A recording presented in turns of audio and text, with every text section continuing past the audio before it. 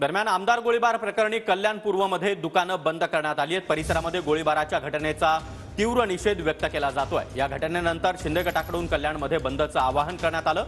शिंदे गटाच्या आवाहनानंतर कल्याण पूर्वेमध्ये दुकानं आणि इतर आस्थापना देखील बंद ठेवण्यात आल्या. पोलीस स्टेशनच्या वरिष्ठ पोलीस निरीक्षक यांच्या कार्यालयामध्ये भाजप आमदार गणपत गायकवाड यांच्याकडनं गोळीबार करण्यात आला.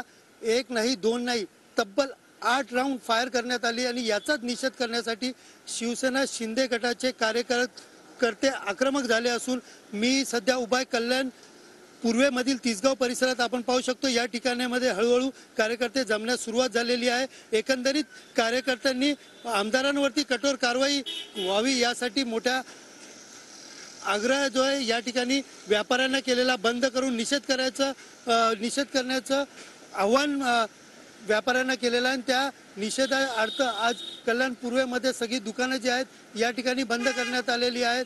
या ठिकाणी कुठलाही अनुचित प्रकार घडू नये यासाठी पोलिसांनी मोठा बंदोबस्त लावलेला आहेत मात्र उपचार घेत असलेल्या महेश गायकवाड यांच्या यांच्यावर फायरिंग करणारा जो आमदार गणपत गायकवाड आहे यांच्यावरती कठोर कारवाई करावी.